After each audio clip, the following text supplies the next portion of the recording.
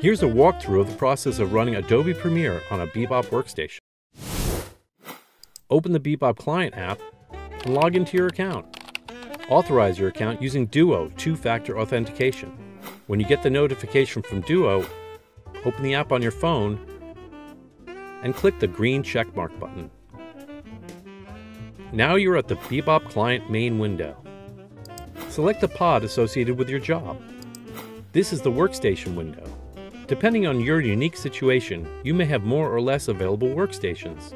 A grayed out button indicates an available workstation. A green button means someone who's already logged into that particular machine. Click on the selected workstation and the button turns yellow indicating that your virtual PC is booting up. When the button turns green, click on it to launch the workstation. When it finishes loading, you will see the Bebop dashboard.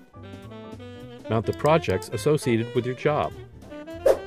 Network storage or volumes is what Bebop means when you see the word project.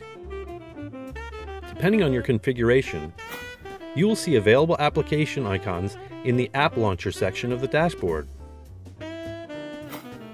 If you're using a Mac to run the Bebop client, click the Enable Mac Keyboard button and your keyboard will be mapped as a Windows keyboard. Click the Premiere icon to launch the app. If you're asked to log into your Creative Cloud account, enter your details and click Sign In. When you start a project, confirm that all your scratch disks and cache settings are mapped to one of your Bebop projects.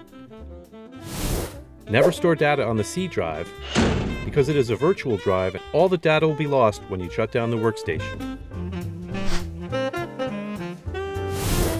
If your screen is locked, click the Connection menu on the Bebop Session app and select Send Control Alt Delete.